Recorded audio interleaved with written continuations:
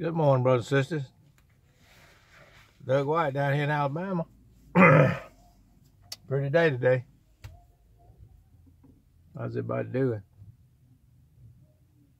Just thought I'd come on and uh, talk to my phone a little bit while uh, I was here in the parking lot waiting on the missus.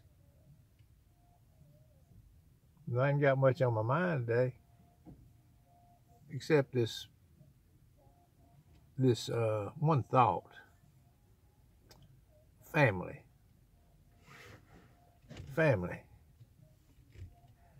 You know, I was born into a family. And everybody was born into a family, uh, you know, whether they met them or not, and you know, they had a family.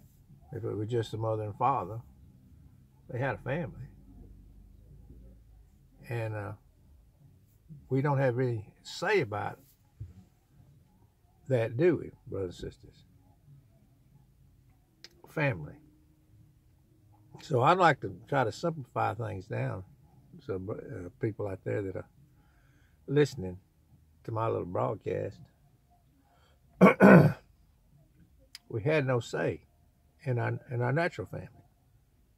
And brother and sister, I'm gonna put it out there, put it to you, that we have no say in our spiritual family, who our heavenly Father is. Our heavenly Father, uh, we didn't have any say in that either. See, and sisters, the child of grace is born from above because it was his idea. And that, in in a, in a nutshell, that kind of breaks it on down. Uh, in this, uh, I don't believe I, I don't believe in a something to do gospel. I believe in a nothing to do gospel. It is finished gospel. Uh, I believe that people are confusing the new birth with uh, being saved from this present evil world, saving yourself from this present evil world. The will of man, your your will had nothing. To, you were you were saved unwillingly. You did. It wasn't your will that you that you uh, were born into this world, and it wasn't your will that you were born into the family of God. And I believe He has a great multitude, brothers and sisters. But I like to just put it on out there a little bit closer, you know where uh, you know we can cut to the chase, cut to the chase of the whole thing. You know, we can argue about what this means and that means. Uh, I'll, uh, you know, the good place or the bad place. But uh, have you ever noticed this? Uh, where it says, uh, let's see, And whosoever was not found written in the book of life was cast into the lake of fire. Whosoever was not found written in the book of life. There's a book somewhere, brothers and sisters, up there in the heavens. Only Jesus can read it or manifest. And if your name's not there, there's nothing you can do about it. But uh, you can have a blessed assurance that it is written there because the Bible gives you uh, indicators that you can, uh, uh, that are evidences that you are, your name is written there. That is, uh, do you believe in his son Jesus? Well, he had to place that belief in you. You couldn't have believed him, you know, uh, unless he'd uh, put that belief in you. A lot of people would like to take that to themselves and say, that is of yourself. The Bible says, not of yourself, it is a gift of God uh, they like to make themselves differ by saying, well, I differ from you because uh, I believe in Jesus. Well, he says, no, who is he to make thee to differ? I'm the one that makes the difference. So, brothers and sisters, uh, uh, uh, not of yourself, it's a gift of God. And you don't make yourself different from the poor uh, uh, goat over there, one that's not one of his. Uh, the the, the non-elect, you, you know, uh, you don't make yourself different, so we can't boast in that either. That leaves room for boasting. So, brother and sister, I'm just saying, not of the will of man, nor of the will of man. We were born not of our own will, which brings great liberty to the soul and to the spirit of man. Uh, I don't know all the particulars. I just get on here and rant every once in a while. about things. And if, if I'm wrong about something, y'all, you know, get on here and correct me. But all of those names were not written there, were not written there. From when was it written there? Before the world ever started, brother said. So we can sit and we can argue back and forth about, you know, end times and this and that. And I, sometimes I get involved in it too. but it doesn't make any difference because if your name's not written there, there's nothing you can do about it. But I like to think of a God that is rich in mercy. Rich in mercy. And he didn't bring all these people into existence, you know, just to damn them all to hell. He had a reason and a purpose behind all, all of it. And uh, that's the way I think about God. I think of God. Uh, uh, I like to think on things that are good. in Him is light, and in Jesus is no darkness at all. No darkness at all. So that's what I when I think about Jesus. That's who I think. That's how I think of. No darkness at all. I uh, we got we have uh, we sin. But he never has. Say Jesus never has sin. And we and we battle with sin all the way up to our last breath in this body. But to thank God in heaven, there's some people out there to whom the Lord will not impute sin. N-O-T. No matter what that sin is, he won't he won't charge him with it. Because why? Because that's one that he loves.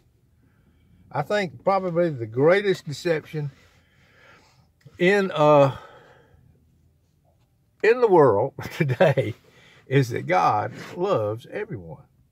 You just go up there and ask him. They'll tell you what. You go, just get out there, and, and everybody will tell you that. But brothers and sisters, the Lord uh, knows them that are His.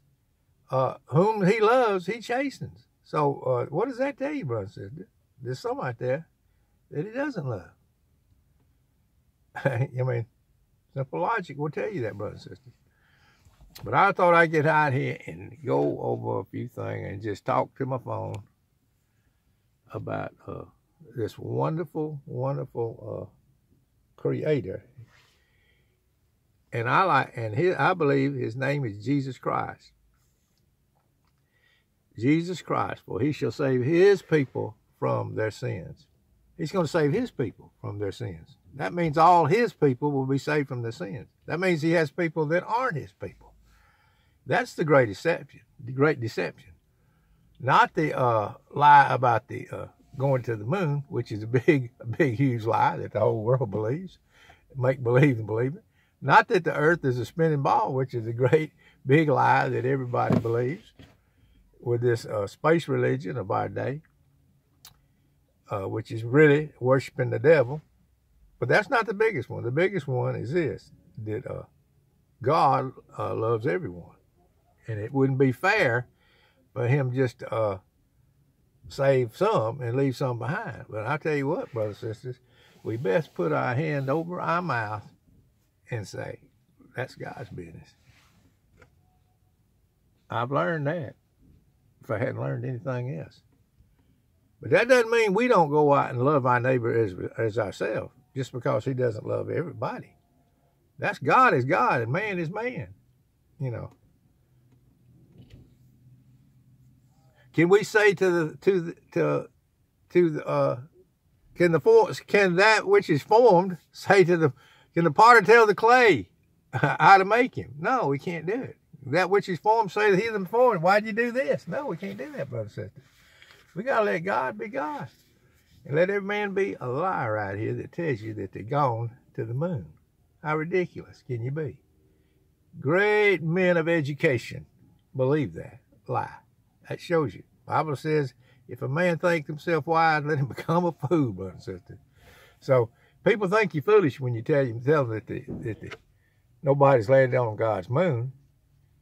Nobody's landed up there, and the earth, for the most part, is a, a, a stretched out plain.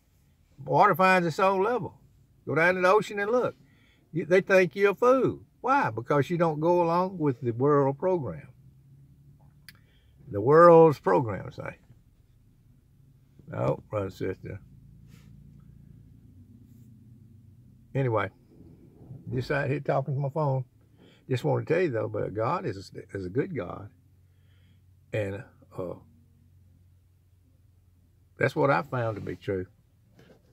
It's a good thing that he is a good God. In him is light, no darkness at all in, in, our, in our God. When you get to the heavenly world, to the world to come, it'll be one eternal day. Won't be any darkness. In this world, you have darkness, see? You have dark. It gets dark. You got the children of light and, and the children of the night, say brother and sister. But uh, God's people are the children of the day. I like daytime. Can't wait till it gets here every morning. Because I know his mercies are new every morning. I know I sin right before I get to the coffee cup every morning. but, though, but I know he's not going to charge me with that sin.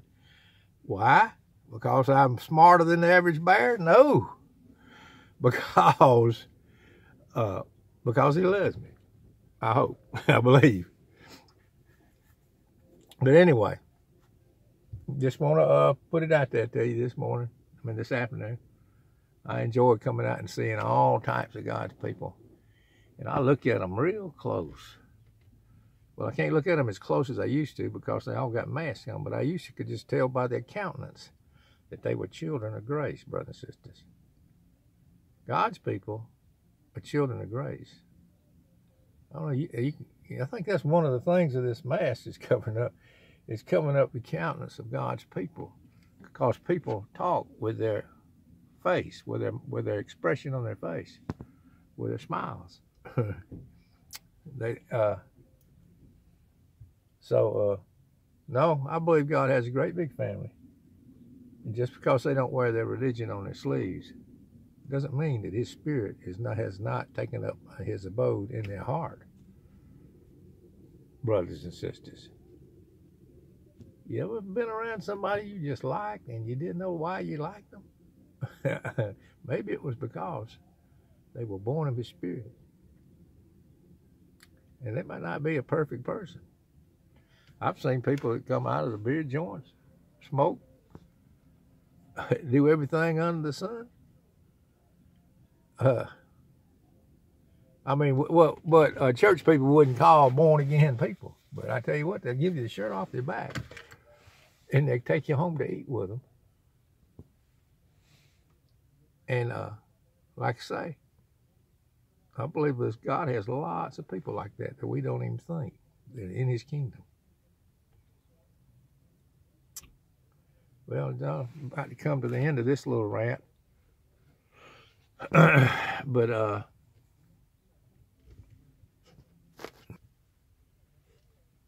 but anyway born again not of your own will against your will. You had to be made willing brothers and sisters. And what people think is when they come conversion is when you come willingly because you've been changed on the inside and you have a different will. You want to know god say you have a different will conversion and the new birth are two different matters, brothers and sisters. And that's what the uh, that's what we learn on just about every street corner around, here. A something to do gospel. But no, it's a something done gospel. And God has a people that he loves. All right, well, I'm just ranting and raving now. I tell you what, please, uh, if you want to, comment on my little channel and, uh, and straighten me out. And uh, if you need to, and uh, I like to know if somebody's watching, so, you know, I'll get me up enough nerve to send it out there next time. but anyway, appreciate everybody. Uh, I'm no better than anybody else. Peace and love from this old boy down here in Alabama.